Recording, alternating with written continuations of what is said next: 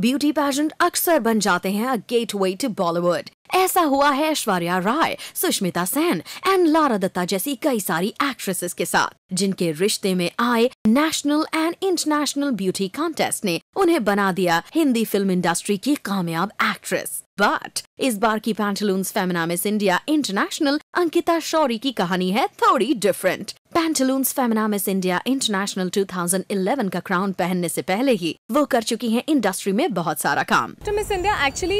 ये didn't come as a shock to me और something क्योंकि मैं पहले ही इंडस्ट्री की एक uh, हिस्सा थी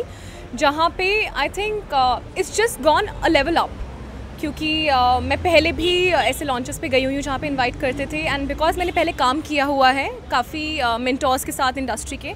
so I think it's just a level up but it is something which was already part वाकई Pantaloons Femina Miss India International का खिताब अंकिता को अब एक लेवल ऊपर ले जाने के लिए तैयार है। Bollywood has been my first love film or my first love मैं अपने हर इंटरव्यू में ये बात कहती हूँ क्योंकि मैं दिल से दिल से I want to be there and ये तब से है जब से शायद मैं तीन साल की थी। आई न्यू कि मैं एक फ़िल्म स्टार बनूँगी। और खुद अंकिता भी कटरीना जैसी एक्ट्रेसेस से इंस्पिरेशन ले रही हैं। बॉलीवुड में एक एक्ट्रेस की तरह अपना करियर शुरू करने के लिए। वो भी बनना चाहती हैं कटरीना की तरह lucky girl very few people are as lucky as Katrina and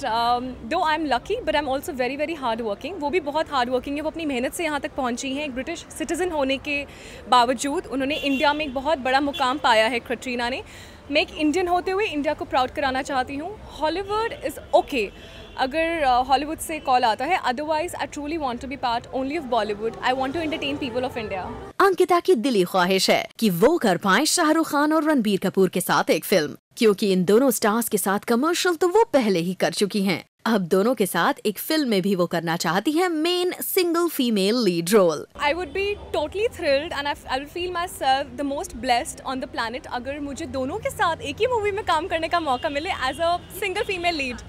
Shahrukh and Ranbir के साथ as a single female lead वैसे अंकिता पहुँची थी एज अ गेस्ट एक स्टोर लॉन्च पर और वहाँ की ये सारी इंटरेस्टिंग बातें। पर अंकिता की इन सुंदर आँखों में नज़र आए, सपनों को देखकर तो हम यही कहेंगे कि ये ज़रूर पूरे हो जाएँ।